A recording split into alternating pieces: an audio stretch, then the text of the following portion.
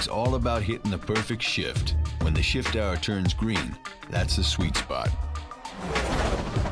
You're gonna reach high speeds in drag races, so don't try and steer the car.